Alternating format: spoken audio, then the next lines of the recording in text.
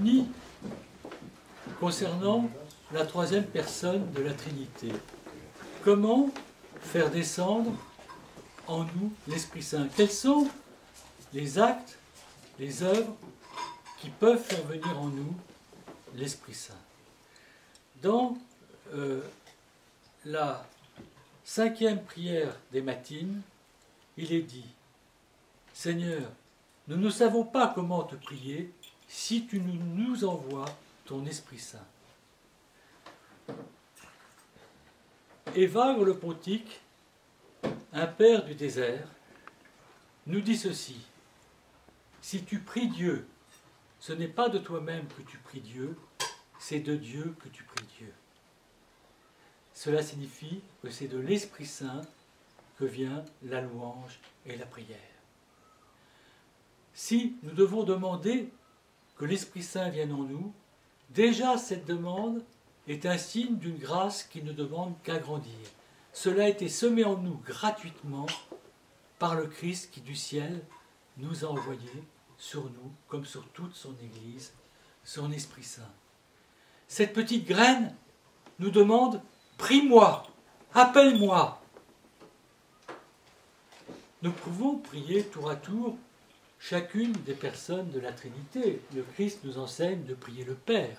Mais examinons quelque chose dans le Notre Père, et là, je vais vous faire le commentaire des trois premiers versets du Notre Père, tel qu'il nous a été rapporté par Saint Cyprien de Carthage, évêque et martyr, par l'ensemble des premiers pères de l'Église qui n'interprétait pas autrement. Et plus tard, Saint Gloire de Naziance, qui est et Saint Basile de Césarée, qui sont des pères qui ont beaucoup insisté sur l'Esprit Saint.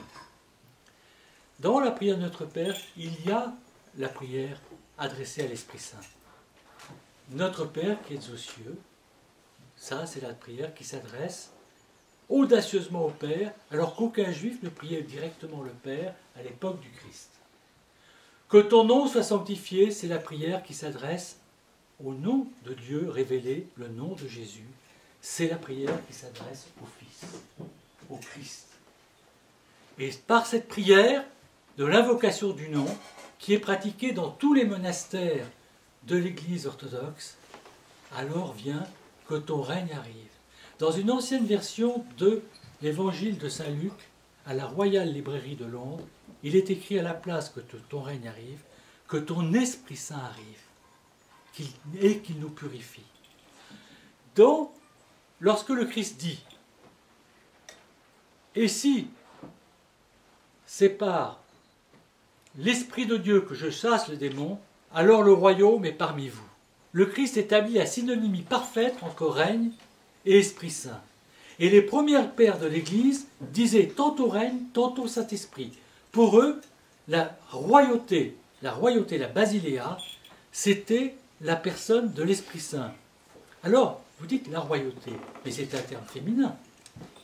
Oui, mais au temps du Christ, lorsque par exemple, dans l'entretien avec Nicodème, le Christ dit L'Esprit Saint, tu entends sa voix, mais tu ne sais ni d'où il vient ni où il va.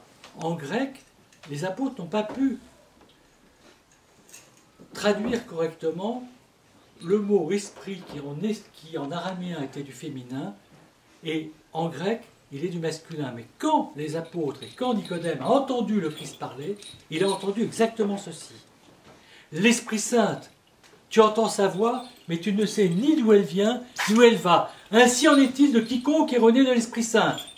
Et Nicodème lui dit, mais comment? Et là, on comprend mieux sa question. Un homme peut-il retourner dans le sang, dans le ventre de sa mère et renaître Et le Christ lui répond, mais tu es docteur d'Israël et tu ne sais pas cela Oui, nous, retournons dans le ventre de notre mère que nous avons perdu l'Esprit Saint, qui est appelé par Saint Aphrate le Syrien, la mère des saints, qui est appelée par Saint Macaire l'Égyptien la mère des saints, parce que les premiers pères savaient que ce mot était du féminin. Saint Jérôme le rappelle d'ailleurs qui a, qui a lu la première version de l'évangile de Matthieu en araméen, et en disant que cela ne choque personne, parce qu'à cette époque cette version circulait, quand nous entendons le Christ parler de l'Esprit Saint, c'est bien un mot du féminin en araméen. L'Esprit Saint nous engendre, nous sommes sur la voie, c'est la mère des saints. nous devons retrouver la matrice de l'Esprit Saint pour renaître de lui. C'est cette renaissance par la grâce. Alors, les pères ont contourné cet obstacle, parce que charisma, fort heureusement en grec, était du féminin. Ils, nous ont dit, les pères grecs, il nous faut renaître par la grâce maternelle de l'Esprit Saint.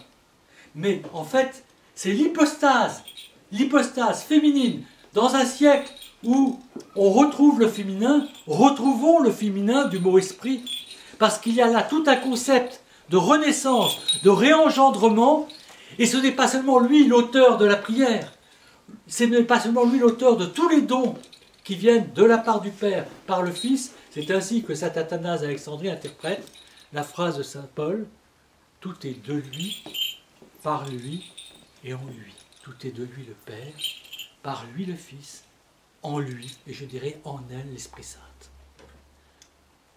Retrouvons la seconde naissance d'en haut.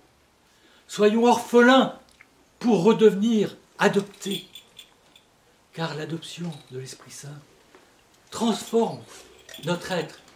Alors qu'il est dans la guerre, il lui fait connaître par le pardon illimité la paix. Alors qu'il est dans la rancune, il lui fait connaître par le pardon limité et la prière pour les ennemis la paix. J'entends souvent, mon Père, comment trouver la paix en ce monde? Trois conditions nous apportent la paix et parce qu'elles nous apportent la venue du Saint-Esprit en nous. La première, c'est de ne pas garder rancune et pardonner sans limite. La seconde, c'est l'amour des ennemis et la prière pour eux, et qui s'accompagne du non-jugement. Et la troisième, c'est de savoir que par nous-mêmes, nous n'y arrivons pas, et qu'il faut supplier de recevoir ces dons en confessant notre faiblesse à avoir du mal à les vivre au Seigneur et qui nous envoie son Esprit Saint qui nous conduit à cette vertu essentielle du pardon limité. Et je reviens toujours là-dessus parce que ne croyez pas que si vous ne pardonnez pas, comme disent les pères de l'Église, je, relisais un père du Montatos euh, récemment, euh, le père Éphrem, mais il reprenait exactement ce que disait euh, le Saint Silouane presque un siècle plus tôt de Montatos, pas un siècle plus tôt, mais 50 ans plus tôt. Il n'y a pas de véritable prière sans le pardon des ennemis. Si nous n'avons pas le pardon des ennemis, notre prière est vaine, stérile. Mais je sais que c'est une difficulté. Alors, la première prière, c'est presque avant de demander pardon de nos péchés, c'est de dire Seigneur, donne-moi.